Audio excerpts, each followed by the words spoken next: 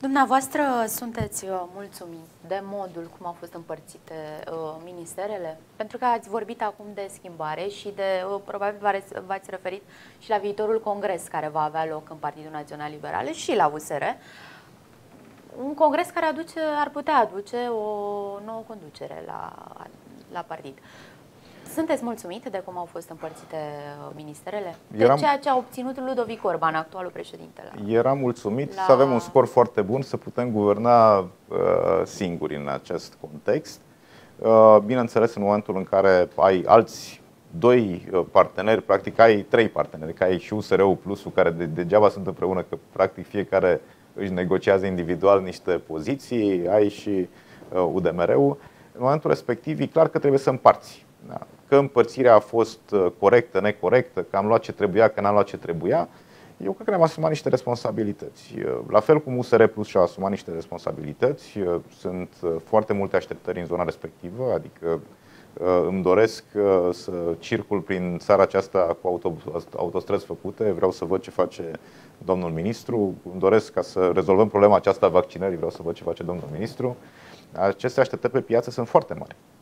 Uh, și nu știu dacă era mai bine ca, uh, să zic așa, să le gestionăm noi sau să le gestioneze alții. Dar cert este că suntem împreună în acest proiect politic, că putem să avem succes împreună dacă știm să fim capabili să le gestionăm toate uh, chestiunile care sunt în discuție, pentru că îmi spunea cineva mai de mult, domnule, în societate apar probleme, tot timpul apar probleme. Important este nu să te concentrezi asupra problemei, ci să te concentrezi asupra gestionării acelor chestiuni pentru a ieși Uh, învingător uh, cu câștig din acea situație.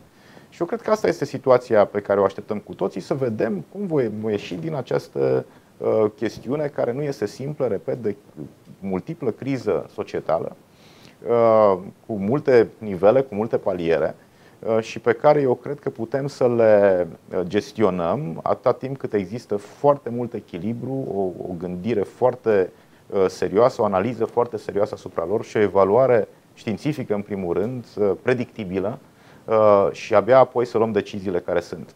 Uh, vă repet o chestiune care cred că tot noastră în studiu am mai amintit-o cu ceva timp în urmă.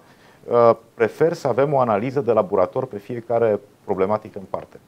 Adică să stăm, să spunem că astea sunt cele 2, 3, 5, 10 variante care le avem, hai să vedem ce se întâmplă în două zile, în cinci zile, în doi ani, în cinci ani, dacă mergem pe o direcție sau pe cealaltă, să facem predicțiile care sunt, analize de laborator și apoi să ieșim cu o idee, indiferent care e ideea respectivă, inclusiv cu acest transfer banal de care discutam de la minister la primării uh, a responsabilității uh, vaccinării. Hai să vedem care este impactul bugetar, hai să vedem care este impactul de personal, hai să vedem care sunt resursele necesare, hai să vedem care sunt uh, uh, resursele umane pe care trebuie să le implicăm într-o astfel de chestiune, hai să vedem cât de bine gestionează primăriile sau pot gestiona primăriile, pentru că nu vorbim doar de o primărie ca și uh, Clujul sau Timișoara sau București, vorbim de primării mici, de orașe care au 6.000 de locuitori, 7.000 de locuitori, care au resurse limitate și specialiști mai puțin decât poți găsi într-un oraș foarte mare uh, și o infrastructură mult mai mică decât poți să găsi.